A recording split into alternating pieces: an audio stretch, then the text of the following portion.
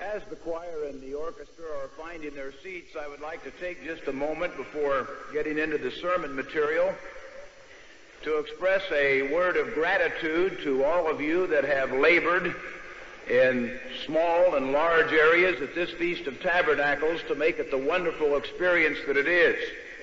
As Mr. Lowengreen mentioned, I've had the opportunity to coordinate the many different duties here in a physical sense in the auditorium building and the zeal that many of you display to do your labors is uh, uh, astounding, to say the least. Let me give you one little example that has happened. We uh, have a cleanup crew that comes in every morning to straighten chairs and pick up papers and sweep the aisles and make things look presentable so that when everyone comes, we have a nice, neat auditorium to meet in. And it's been established over the years the best time to do that is early in the morning, and we thought, well, hopefully 7 o'clock in the morning would not be too early for people, but it would enable us to get the work done.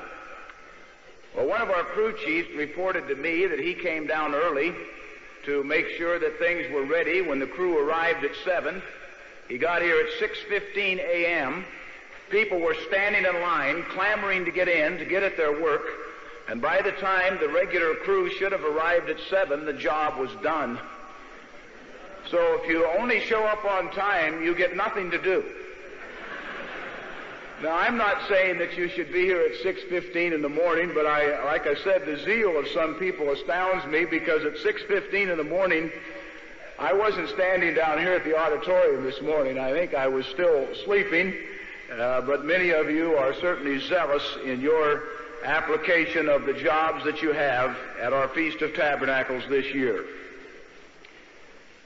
I am sure you were impressed in the microwave transmission yesterday with the little film preparation that was prepared about Mr. Armstrong's book, The Mystery of the Ages. I know it sent goosebumps up and down my neck to see the production, the printing, how it was put together, Mr. Armstrong's presentation to the second year theology class, and uh, it really raised a level of excitement about that book. And I know as a minister we had the opportunity to get a sneak preview ahead of the feast because we received about three weeks before the feast a copy with an encouragement that we would read the book before coming to the Feast of Tabernacles so that we could, you know, certainly be ready to discuss it with our members and to be as enthusiastic as we could about the book. I found in sitting down to read the book that it was almost like being reconverted again. It really was. I thought, well, what is Mr. Armstrong going to say this time? Because he always has a way of putting it in a way that well, wait a minute, I've been in the church for 23 years and I didn't see that before? That's the way it always hits me. And as I read the book, it just stirred up the first love that uh, sometimes is such an elusive thing to hold on to. In beginning this sermon, I would like to read one paragraph from the Mystery of the Ages book. This is from page 213. If you have your copies with you, you can follow along. It's the last paragraph on page 213, and it carries over to the top of page 214, and it's going to set the theme for what I want to talk about in this sermon today. He says that Jesus was born as a human to become a king, ultimately to establish the kingdom of God ruling the whole earth with the government of God. But that rule required more than the individual Jesus. The king, president, prime minister, or ruler over every nation governs with and through a more or less vast organization of others who rule various phases and departments under him. Likewise, Christ must have an organized government with numerous others trained and qualified to rule under him. Jesus said, I will build my church. The church was to consist of many, to be called out of Satan's world, to be taught and trained for numerous governmental positions under Christ when he comes to rule over all the nations. Now this theme of being trained to be a ruler, a governor, a judge, a priest, a king, this theme has been emphasized time and time again leading up to this Feast of Tabernacles in articles by your local church pastors and of course already here at the feast.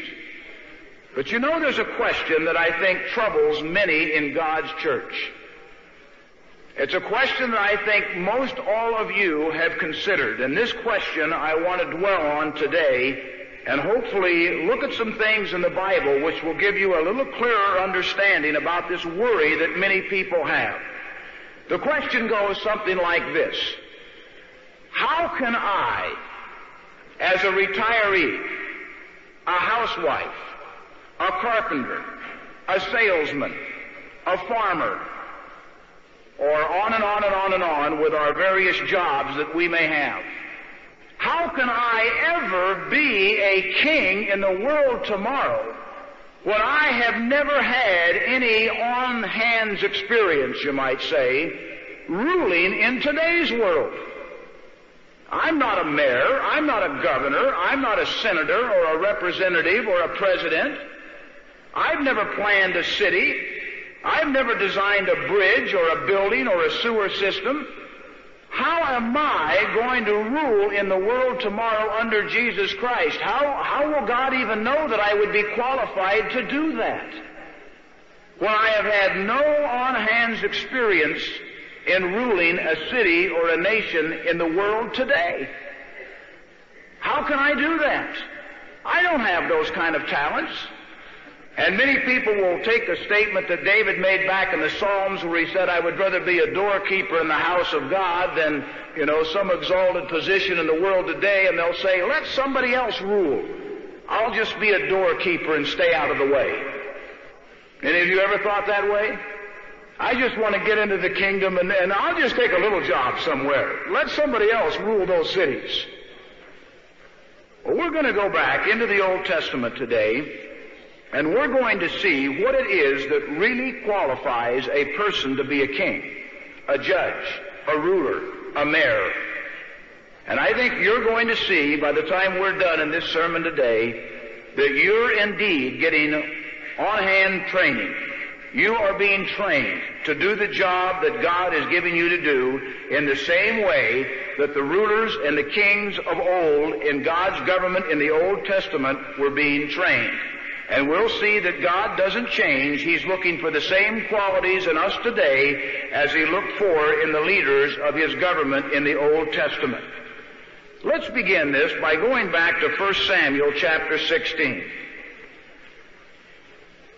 And there is one thing that certainly God differs from than any of us that are human beings. We are physical. We naturally look at physical things.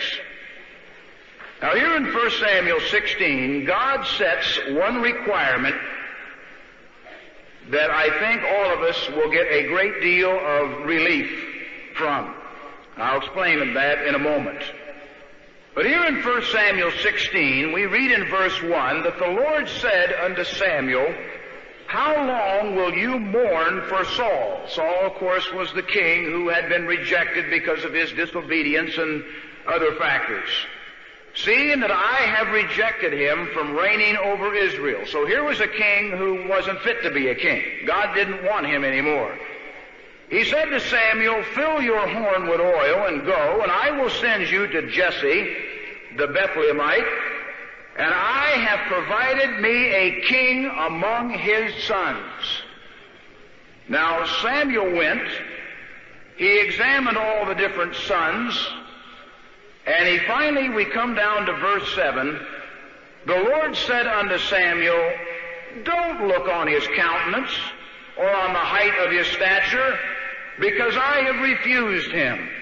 For the Lord sees not as man sees, for man looks on the outward appearance, but the Lord looks on the heart. Now you know that's a great deal of comfort to me, because my hairline is receding.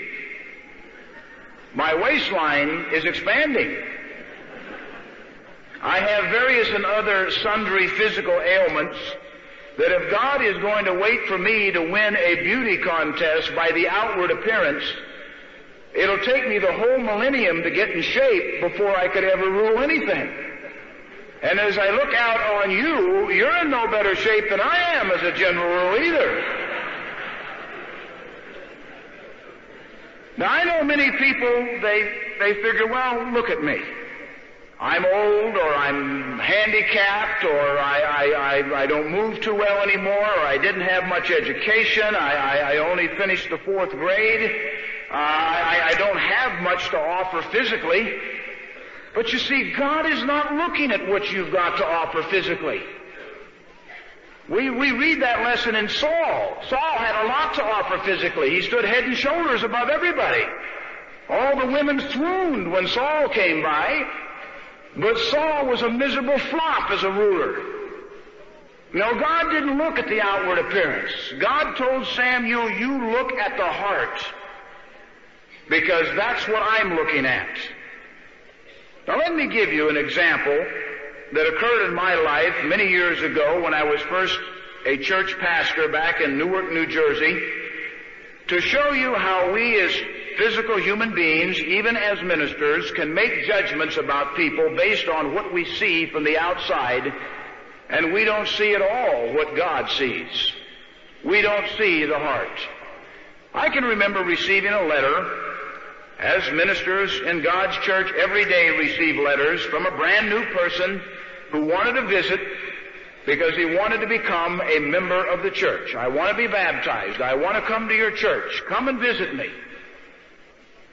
So my wife accompanied me and we went to this three-story apartment building in Newark, New Jersey.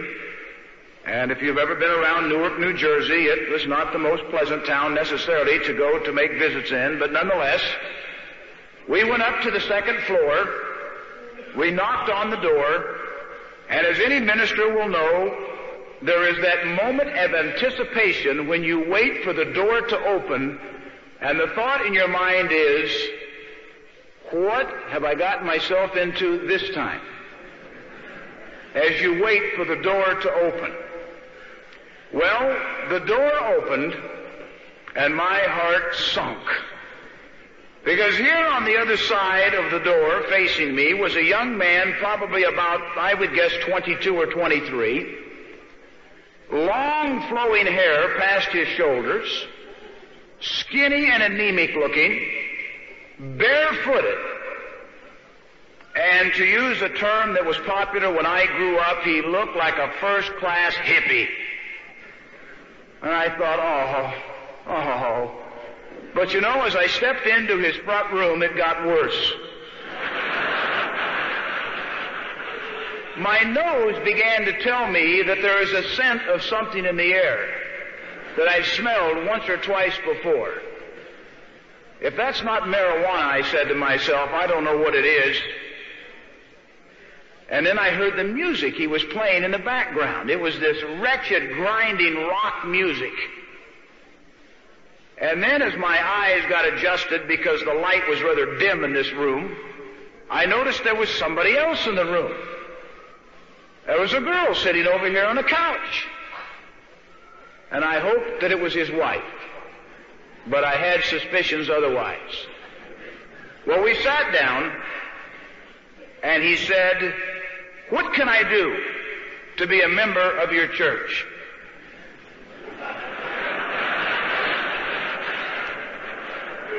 I stalled the question for a while. I said, uh, give me a little background. Are you always have been in the city of Newark? Uh, where did you grow up? Tell me how you found out about Mr. Armstrong. We talked for a while. And yet he kept coming back. All right, now, now what do I need to do to come to your church? I want to know how I can become a member. And finally I said, what have I got to lose? I'm just going to unload on him. I said, I'll tell you what you're going to have to do. Let's start with you. You're going to get that haircut first. Didn't bat an eye. I said, uh, what do you do for a job? He says, I'm a rock musician. When do you do most of your work? Friday night. I said, all right, you gotta keep the Sabbath. Rock music is not something that God particularly takes pleasure in. That's got to go too. You got to get another job.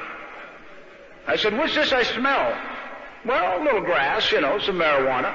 That's got to go too. Now, is this woman your wife? No, she's my girlfriend. Does she live here? Yes, she's got to go too.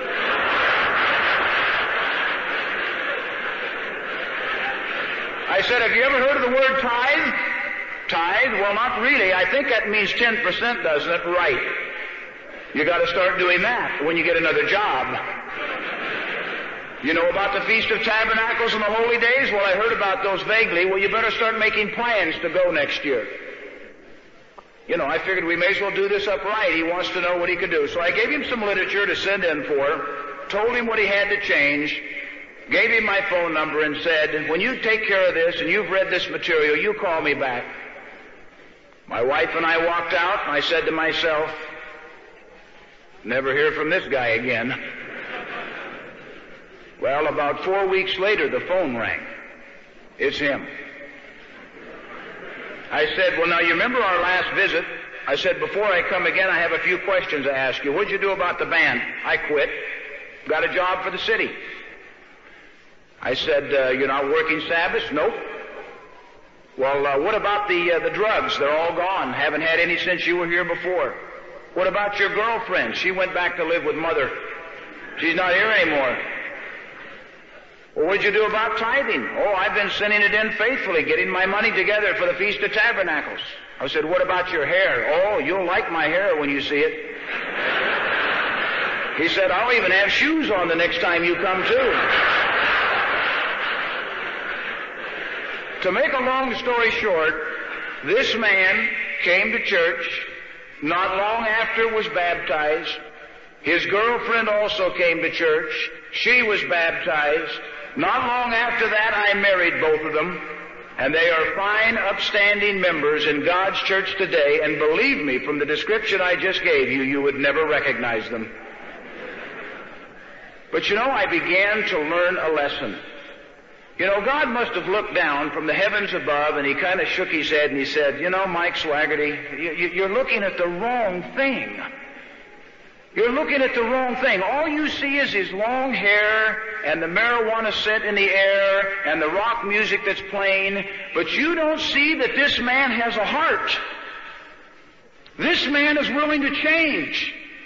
I can work with this individual with my spirit and this man will come along. You don't see the heart. All you see is the physical accoutrements that can easily be changed.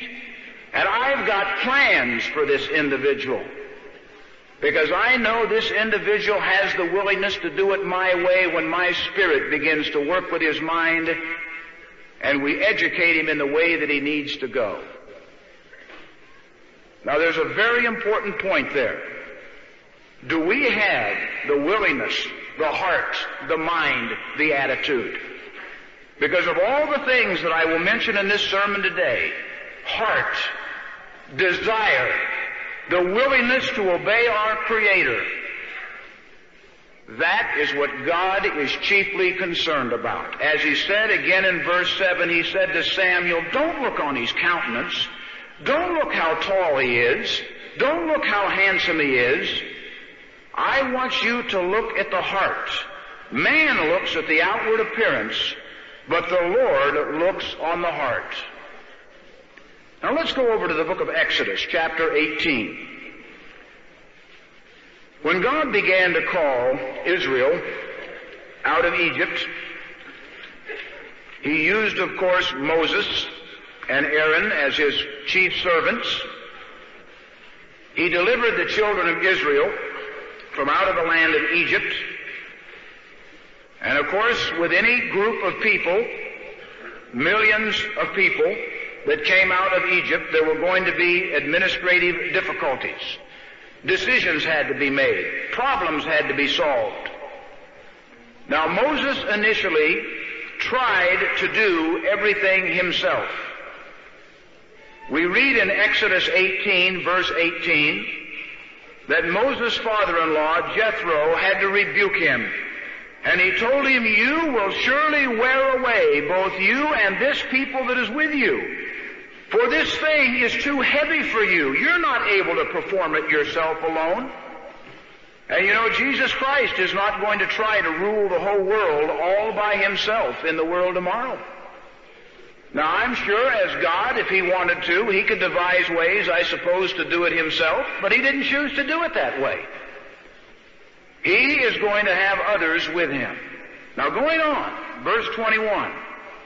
He said, Moreover, you shall provide out of all the people. Now we're going to get down to what God was really looking for for a leader. People who were going to assist Moses in taking care of the children of Israel.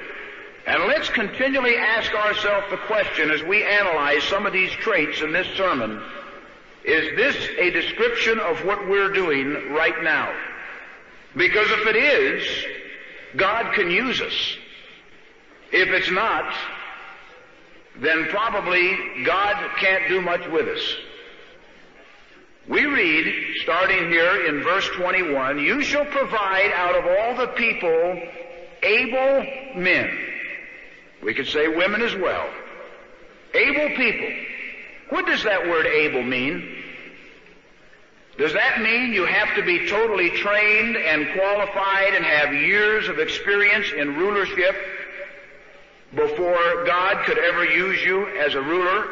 Do you already have to have been elected as the President of the United States, served three terms as a U.S. Senator, had 15 years as a judge, before God can do anything with you because otherwise you wouldn't have any experience and you wouldn't be able. No, God is talking about able from a different perspective. The word able has to do with someone who has proven themselves, someone who is experienced. But experienced in what? Experienced in the governments of this world? That would probably be the first way not to qualify. But you see, what God is looking for is for people who are able, experienced, trained in His way of life. And that is what all of you are doing now, regardless of your circumstances. God has called us to learn a way of life. Now, every day, as God looks down from the heavens above, and He sees all of us doing our daily affairs, can God truthfully say, we are becoming more able day by day? We're becoming more experienced day by day in the way we treat our family, in the way we respond to our husband if we're a wife, in the way that we take care of our children, in the way that we take care of our money, in the way we have a relationship with God in our daily prayer and Bible study, in the way that we serve at the Feast of Tabernacles or in our local church areas, are we showing God that we are able men, experienced individuals in His way of life?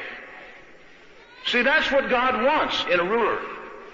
Someone that's experienced, someone that's proven, Someone that day after day, week after week, month after month, and year after year shows that they are able in doing it His way.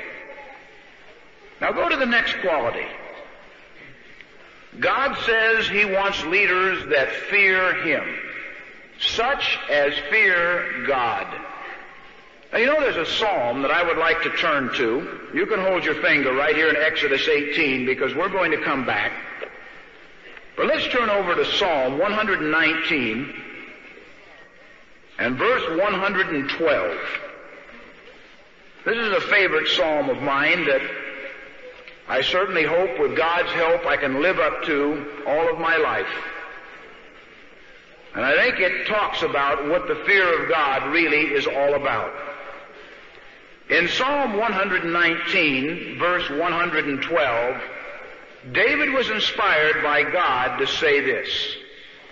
He said, I have inclined my heart to perform your statutes always, even unto the end. Now you know there's two ways that you can look at the end. David was determined that he was going to do things God's way to the end, meaning all his life. He had set his hand to the plow. He knew what God wanted him to do. And he inclined his heart. He set his mind, that is going to be the way of life that I'm going to follow to the end of my days. But you know, it can also imply something else. That if David was going to meet an untimely end, that if someone was going to give David the choice, do you want to keep obeying God's law or we're going to end you? Then David said, if that's the choice that I have, then I will choose to obey God even if it's the end for me. Because he had counted the cost and he knew what he wanted to do. You know, that's the attribute of an individual who fears God. They know above all else that there's a God in the heavens above who sees everything they do, who reads every thought in their mind, who knows every word that they say, and that motivates them every day of their life. And even though they can fool the minister, they can hide from other people, they can get away with things behind somebody's back, because they have the fear of God and they know that God sees all, they say, why bother to do that? That's futility. You know, who am I kidding? I can kid a man, but I can't kid God. So instead of trying to kid God, I am going to go to God for the help that I need to live His way, and I'm not going to try to kid Him. I want Him to know my thoughts and my words and my actions. And I want Him to show me where I need to make improvements, and I'm going to go to Him every day to get His strength to overcome and to grow. And do you know, by having that kind of an attitude, you are qualifying to be a ruler in the world tomorrow. Whether you're a housewife, a carpenter, whether you're a retiree, whether you're young or old or crippled or with a fourth grade education or a doctor's degree, if you are showing that you fear God and you're going to incline your heart to obey Him even to the end, God says, we can use you. You're the kind of a ruler I'm looking for. But you know, it's very easy when things are going good to obey God. But there was a little story told one time that I think will illustrate that sometimes when the heat is on, what are we going to do? You know, when things are smooth and it's easy to obey God, no problems. But what happens when really you're put in a situation where, to use the expression, the heat is on? And I'll tell you a story. I hope it wasn't a true story. It's actually a joke that was told one time, but perhaps it actually happened. It was a story about a fisherman. Some of you may have heard this from the Chicago area. I think I told this a couple of years ago when I first came into Chicago, and maybe Mr. Fay will even remember it from the Poconos a couple of years ago. I know we were there at one feast together. But there was a man who had a reputation as being the greatest fisherman ever. Nobody knew how he caught his fish, though. Because he would go out at night and he would come back the next morning with sacks full of fish. He would distribute it to the orphanages and to the widows and to the needy people in town. And he gave away sacks full of fish every time he came back from his fishing trip. Well, he had a cousin who was a game warden. And his cousin was dying with curiosity to know how did he catch all these fish? What lure did he have that attracted such fish? So he asked his relative, I'd like to go fishing with you one night and see how you do this. His relative said, fine, come along, meet me at my house tonight at sunset. So they met at his house at sunset, loaded the boat on the car, got the fishing equipment, put it in the trunk, and off they went. They didn't drive very far, 15, 20 minutes, and they came to a lake. The man stopped, and the game warden said, This is it? I've fished this lake hundreds of times. This lake hasn't got any fish in it. You can't catch that kind of fish out of this lake. His cousin merely smiled, took the boat off the roof, got the fishing equipment out of the trunk, piled it in the boat, and they rowed out to the middle of the lake. Now he said, We're going to fish. He opened up his tackle box, took out a stick of dynamite, lit it, and threw it out there. Come Kaboom! Fish everywhere floating to the surface. Got his net out, gathered up all the fish, put it in the sack, and he proceeded on, filling up sacks of fish. Well, his cousin, who was the game ward, looked at him he said, You know, we may be kin and all that, but he said, I'm going to take you in. This is illegal. You can't fish like this. This is against the law. And his relative said, Well, you have to do what you have to do. But he said, Before you take me in and before we row back, just one moment, please. He opened up the tackle box again, took out another stick of dynamite and lit it, and threw it in the game warden's lap. Now he said, You going to keep yakking or start fishing?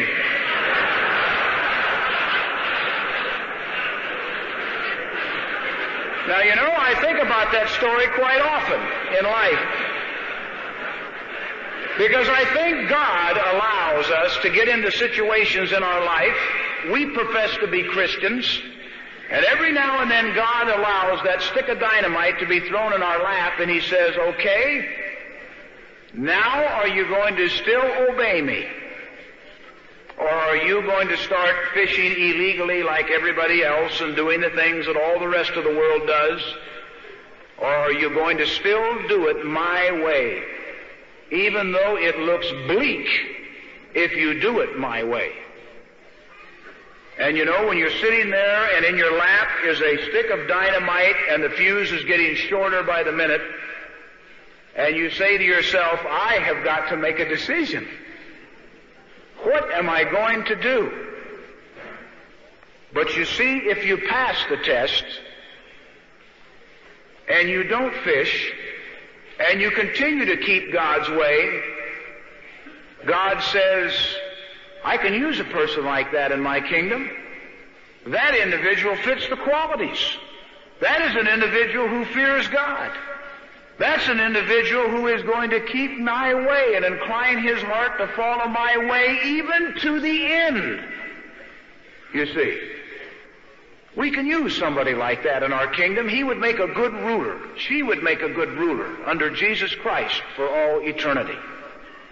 Let's go a little further. Here in verse 21 of Exodus 18. Those that fear God and men of truth now, to be a ruler in God's government, we have to be individuals who are truthful. I can remember Mr. Herbert Armstrong on more than one occasion when I was a student in Ambassador College being asked, in his opinion, what was the greatest sin that a man could commit? And I remember Mr. Armstrong's answer to this. He said, well, first of all, we'd like to make this clear that sin is sin. You break any of God's law, and if it's not repented of, the wages of sin is death.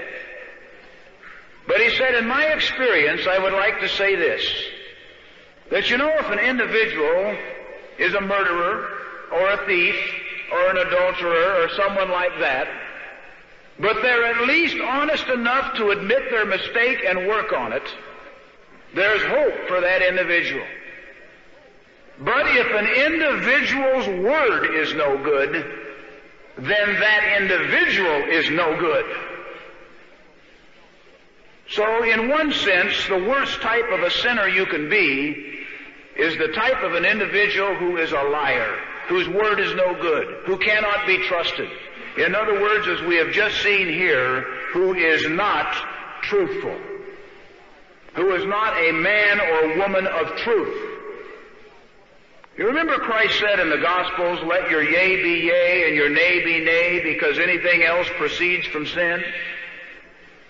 And we all know how easy it is to shade it our way.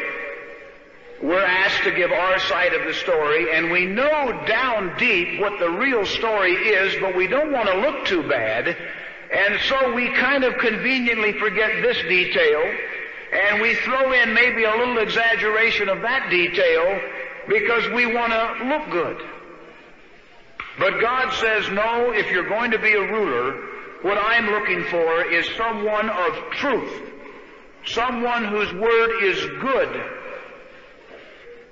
But you see, every day, all of us have a chance to show God that we would make a good ruler by being men and women of truth in the way we deal with our marriages, with our children, the way we deal on the job with our employer or employee, all the different applications in our daily lives to show that we are men and women of truth. Now the next qualification, look at this. It says someone that's going to be a ruler of the people has got to be someone who hates covetousness. Now I was interested in some of Mr. Fay's comments earlier in the feast when he was talking about covetousness just for a little bit. And uh, he was made a statement that uh, caught my ear, that I actually jotted it down here. And he said, when you covet, you can never be content. You know, that's right. When you covet, you can never be content. Now, we think about coveting as generally physical wealth. But I would like to apply this to the context of becoming a leader and a ruler in the world tomorrow. Maybe there are some of you who are women sitting in this room today who have been affected by the women's movement in our society around us. And maybe sometimes you look at your calling in life and the fact that you were born of the female gender, and down deep you wish you were the leader. You wish you were the man. You wish you could be the boss of the house. And because you covet what your husband has or has been given by God, you're never content. You have a restless feeling that's never fulfilled. Maybe you're the husband. Maybe as you go to church, you see that somebody else is the deacon or the elder or the president of the spokesman club, and down deep you wish it was you. And because you covet, you're never content. Maybe on the job at work, somebody else has made the foreman or the crew chief or whatever else, given the promotion, given the raise, and it didn't go to you. And because you covet, you're never content. You know why it's important that a leader of the people not have this weakness of coveting? Because it is what disqualifies rulers faster than anything. You know what got Satan the devil in trouble? You know what got Satan the devil in trouble? He wasn't content to come down to the earth and give God thanks because he had been chosen to have the opportunity to refurbish the earth and make it something for God's plan. He wanted more. I want God's throne itself. I'm not satisfied to just stay here. You know what gets leaders into trouble in our society today? You get elected to be a representative. I don't want to just be a representative. I want to be a senator. You get to be a senator. I don't want to just be a senator. I want to be the president. Now, after you get to be the president, I don't know what you want then, because in our land there's nothing higher to achieve. But you get to be a judge. I want to be a higher ranking judge. You get to be a justice. I want to be the supreme justice.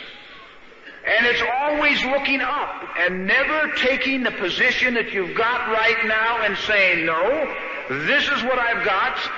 This is what I'm going to do. This is what I'm going to put my hand to. And I'm not going to look and covet for what somebody else has that I don't have. Because you see, if God is going to choose us to be a leader, then we're going to have to show Him that we're willing to take our lot in life and maybe your lot in life has been kind of a cruel one. Maybe you are blind. Maybe you're deaf.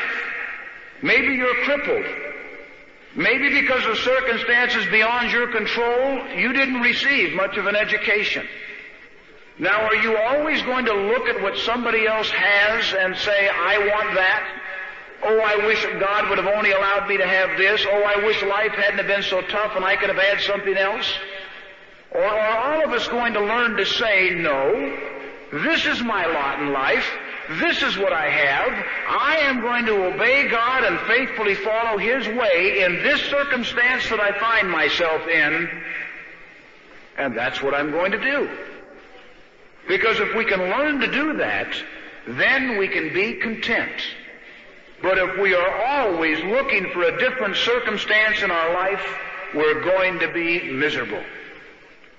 And God knows that when the judgment day comes and He gives the rewards out, you know, that's going to be an interesting day. When that resurrection comes, when we're either changed into a spirit being, or if we've died, we come up out of the ground, we meet Jesus Christ in the air, we come down to the Mount of Olives, and He sets up His kingdom. You know, I think who He appoints to what job is going to be a tremendous surprise to many people. Now, hopefully, in fact, it's not just hopefully, if we are there as spirit beings and we have qualified and we have overcome this thing of covetousness, then we are going to be overjoyed at whatever position we receive, and we're going to be overjoyed at whatever position anybody else receives. But looking at it as a human being right now, I am sure we're going to say, what? They are going to be the ruler over ten cities, and that individual's only going to be the ruler over one? I can't believe that. What did they ever do in the local congregation that showed anything? But God is going to know what they did. He is going to know they have followed these traits that we've already read. And God is going to be able to read the heart, the attitude, the inner core of that individual. And He is going to know very well what they are qualified to do. Very well, He's going to know that. Well, going down to read a little further here, there's something else I want to bring out. Not only hating covetousness, but place such over them to be rulers of thousands and rulers of hundreds and rulers of fifties and rulers of tens. And let them judge the people at all seasons. And it shall be that every great matter they shall bring unto you, but every small matter they shall judge. So shall it be easier for yourself, and they shall bear the burden with you. Now you know there's a vital area right there that we just covered that God is also looking at. Do we understand authority in our life today? Notice in the government that God set up in Israel, there were rulers over thousands, hundreds, fifties, tens. And there was an order of doing things. You didn't automatically take every little problem to Moses. Otherwise, why have the ruler over the tens, the fifties, the hundreds, or the thousands? What would their job be? Now, I would like to take just a minute here to show you right here in the Feast of Tabernacles how we are learning that lesson. Now let's, let's see something just for a moment here about the Feast of Tabernacles. God the Father, who is in charge of everything, decided at some point in history that he was going to design seven annual holy days for his people to remind them of his plan. One of those holy days was going to be the Feast of Tabernacles. God gave to the Word, the spokesman, Jesus Christ, the authority to be in charge not only in Old Testament Israel, but also in the New Testament church today. Now Jesus Christ took that authority that was given to him. He first worked with Moses and the leaders of the congregation in the wilderness and gave them instructions about keeping that feast. He worked with his early apostles, and of course he works today with his latter day apostle, Mr. Herbert Armstrong. Now Mr. Herbert Armstrong, being guided by God's Word and what it says about the feast, and using the inspiration that God's Spirit gives to him, sits down with a team at headquarters. I know at least three individuals who are prominent on this team, Mr. Ellis LaRavia, Mr. Leroy Neff, and Mr. Joe Tkach, and other individuals who assist them. He gives to that team what he expects to be accomplished at the Feast of Tabernacles. That team, in turn, conducts a meeting at the first of each year and calls all the feast site coordinators from the United States and the Canadian sites and the international sites to Pasadena. They get together and they relay to these feast site coordinators what is to be done at the Feast of Tabernacles. Those coordinators in turn go back to the local area, in our case, Mr. Lowengreen here in the Wisconsin Dells. He chooses among the ministry and deacons and other individuals, department heads, and he has a meeting. And he relays to those department heads what he wants done as has been instructed from him from the team at Pasadena. Now let me just take myself as an example since I would be best familiar with that. I was given the responsibility of the auditorium. The auditorium is basically divided into five parts as I have to do with it. There's ushering, janitorial, stage, cleanup, and the mother's room. I chose five individuals to be over those parts. Let's take one of those parts, the janitorial area. I chose a deacon in the Chicago North Church to oversee the janitorial work in the restrooms. We in turn chose four crew chiefs, who in turn restrooms. We in turn chose four crew chiefs, who in turn had section leaders.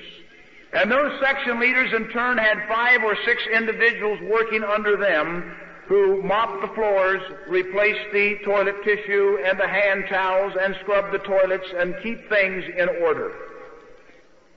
Now this may sound like a simplification, but if you are the individual cleaning the toilet in the bathroom, you have experienced the government of God from God the Father to Jesus Christ, to his apostle Mr. Armstrong, to the headquarters team, to the feast coordinator, to the overseer of the auditorium, to the deacon who was put in charge of the janitorial area, to the section leader for that day, to your crew chief, right down to you as you clean the toilets.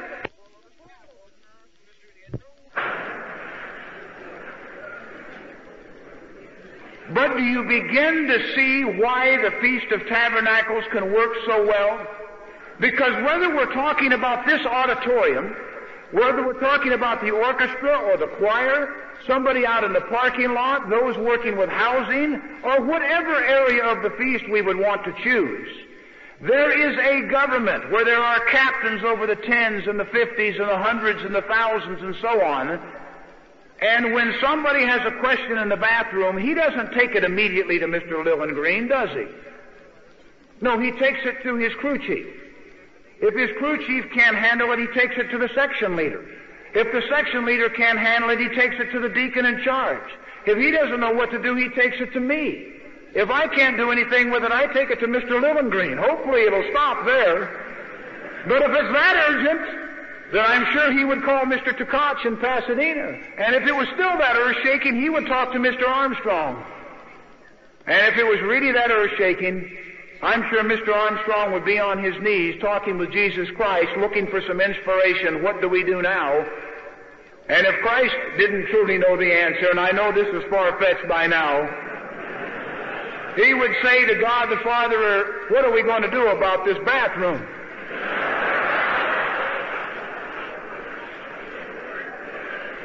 But the point I want to make is there is government.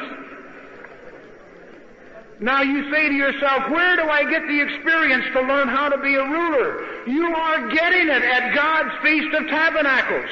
Every time you obey what the parking man says out there and you park in this spot rather than drive over there and park in that spot, you're learning how to be a ruler. Every time you get in your seat and get ready for services when Mr. Lohr comes up and says, would everybody please find their seat, you are learning how to be a ruler in the world tomorrow. Do we begin to get the picture now? And I hope we begin to see that God is providing these means for us to be trained to learn His government and how it operates.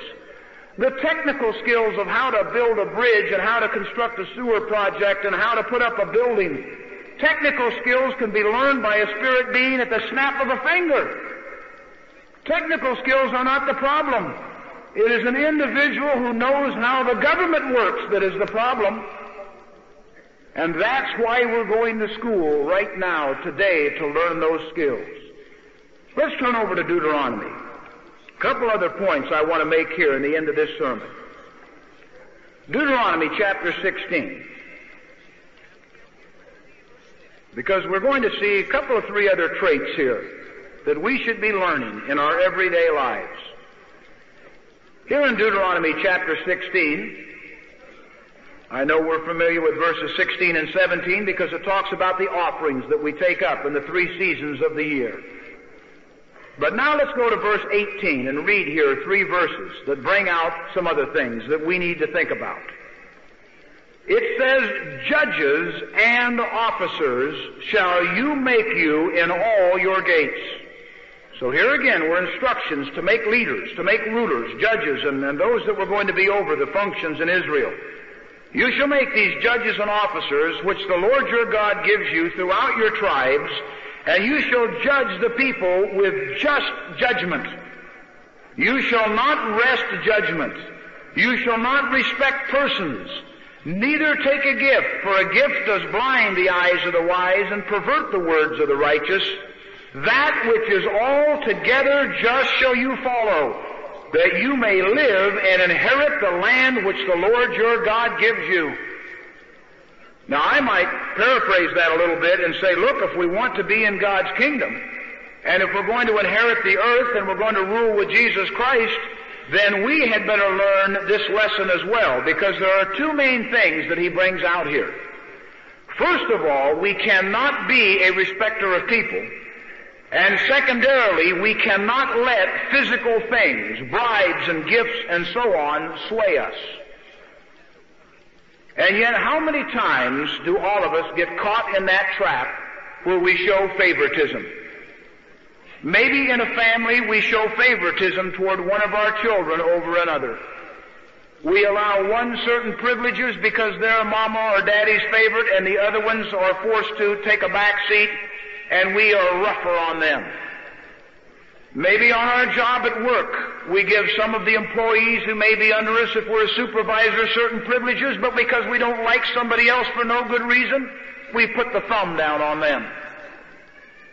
You see, maybe even here at the Feast of Tabernacles. Hopefully not. But maybe even someone who is leading a particular area, who's an usher or a section leader in the bathroom or whatever, maybe he's got two or three people he likes better than somebody else, and he lets them put the paper towels in and he takes the guys he doesn't like so well and assigns them to clean the toilets. You, see how small it can, it can kind of, you know, go out? But God wants us to treat people justly. Because that is the mark of a true leader that everybody can respect and look up to is because they know they can go and get a fair shake. Now there was a little story told about a lawyer that I think will illustrate this about not being fooled by physical things. An elderly lady came into this lawyer. This is a true story, by the way. And she was being oppressed and being taken advantage of by someone. She had been swindled out of a certain amount of her money. And she said to the lawyer, I want justice. Can you help me get justice? And the lawyer said, Yes, I can help you get justice, but I have one question for you. How much money do you have? The lady was shocked. She said, Why does it matter how much money I have? Because I have to know, said the lawyer, how much justice you can afford. Now, you know, that's the way the system works today. That's the way the system works. It's a fact of life. Maybe some of you have been victimized by it. If you've got enough money, can hire a smart enough lawyer, and keep the appeals process going long enough until you can wear the other individual out or break them, then you can win in a court of law on default. So truly in our society today it is, how much justice can you afford? But you see in the world tomorrow, God is not going to be governed by those laws. He is going to want just individuals who have proven in this life right now that they're not going to be a respecter of people, that they are not going to be influenced by bribes or by what you have to offer, physically speaking, they merely want to know what is right. Notice verse 20 again in Deuteronomy 16. That which is altogether just shall you follow. You see, that's the admonition to a ruler. You have got to do what God's law tells you to do. It doesn't matter whether the person is rich or they're poor, whether they're prominent or whether they're just very menial. It doesn't matter whether they're your friend or they're not your friend. It doesn't matter how many gifts they can give you. No, your consideration always must be that which is altogether just. But you see, God is looking down and He is making that judgment on all of us by all the little things that we do in our lives. Now let's go to one other scripture here, Deuteronomy 17. And we'll bring out just a couple of more points and bring this to a close. Deuteronomy 17. Let's start in verse 14. When you are come into the land which the Lord your God gives you, and you shall possess it, and shall dwell therein, and shall say, I will set a king over me, like as all the nations that are about me. So God knew that Israel was one day going to clamor for a king. But God says, if you're smart, this is what you'll do when this king comes. It says, You shall in any wise set him king over you, whom the Lord your God shall choose. So if you're smart when you look for a king, you will want God to do the choosing for you. Well, fortunately in the world tomorrow, God is going to do the choosing because He can read the hearts of all men. One from among your brethren shall you set king over you. You may not set a stranger over you which is not your brother. Now, do you know what that teaches us? God isn't going to select the mayors and the rulers and the kings and the judges in the world tomorrow. He's not going to select them from among politicians and prime ministers in this world today because they are not a part of the brotherhood. You are the brotherhood. God is not going to take a stranger to His way who doesn't know His law, who hasn't proven it by a lifetime of living it, and make that individual a ruler in the world tomorrow. He is going to choose from among the brethren. You're the ones that are going to be the rulers that God is going to be choosing from. Going on, verse 16. That individual shall not multiply horses to himself, nor cause the people to return to Egypt. Now that's a very significant point. If a ruler is going to be a real ruler, he cannot allow the people to go back to their former way of life. Do you know how overpowering is going to be the urge for people in the beginning of the millennium to want to return to the former way of life? And Jesus Christ is going to be trying to instruct them in God's way, and they're going to be trying to return to this religion and to that political system. And they're going to always be thinking back, well now wait a minute, when I was over here in China we did it this way, and oh can't we go back and do it that way again? And we had such beautiful Buddhas that we worship, can't we have at least one Buddha in the synagogue? But a ruler of God is going to say, no, we're not going back to Egypt. We brought you out of Egypt. But you see, here's the point. Do we want to return to Egypt? Secretly, even while we're sitting here at the Feast of Tabernacles, do we wish we were someplace else? When Christmas comes, do we kind of have that feeling, oh, it'd be nice to have the tree up again? I certainly hope not. But I know as ministers, we run into many times people who you can tell down deep in their heart want to go back to Egypt. But as a ruler of God, you cannot go back to Egypt. You have got to direct the people under your charge never to go that way again. We're going to learn a new system. The people cannot be allowed to stray. But notice this, verse 18. It shall be when he sits upon the throne of his kingdom that he shall write him a copy of this law in a book out of that which is before the priest and the Levites. And it shall be with him, and he shall read therein all the days of his life, that he may learn to fear the Lord his God, to keep all the words of this law and these statutes to do them. Now, are we following that example that God required of these leaders in the Old Testament? And are we diligently studying from that law every day of our life? Do we read from it? Do we meditate on it? Do we try to consider how we can better apply it in our lives? You see, that's what God is going to be looking at as we qualify to be a king and a priest. Verse 20. One last thing he brings out. That his heart be not lifted up above his brethren, and that he turn not aside from the commandment to the right hand or to the left, to the end that he may prolong his days in his kingdom, he and his children in the midst of Israel. So God, you see, does not want us to have a haughty attitude and lord it over people. He wants us to learn now to rule in love and in consideration and in patience and in peace and to treat with dignity and respect those that we may be over in whatever capacity that we have. Well, I hope in the time that I've had in this sermon today, I've been able to impart to you this point. That if you have had a fear that because you did not have great technical expertise, that you had no hands-on training about being a king or a mayor or a judge or a ruler, that somehow when the kingdom of God came that you were going to be inadequate or inferior and simply were not going to have the training to do the job. I hope I have shown you today from God's Word that what He is looking for is not all that technical training.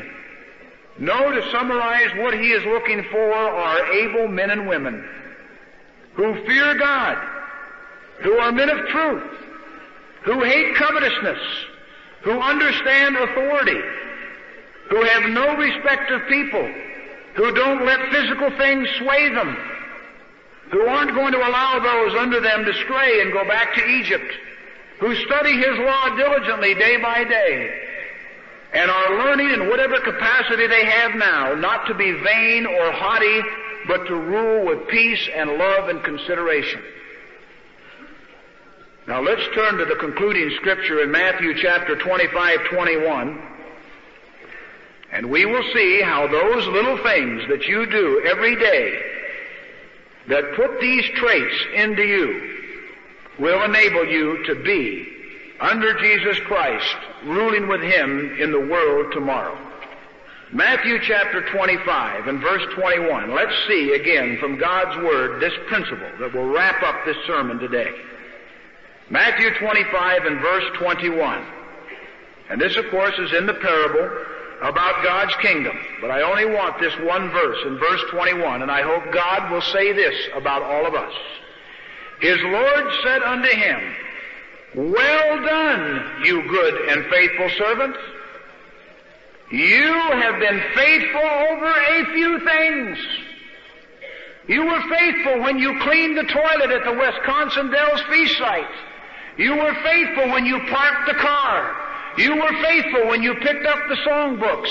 You were faithful in the way that you treated your children and you treated your wife. You were faithful in the way that you respected your husband. You were faithful in those little things. So now I will make you ruler over many things.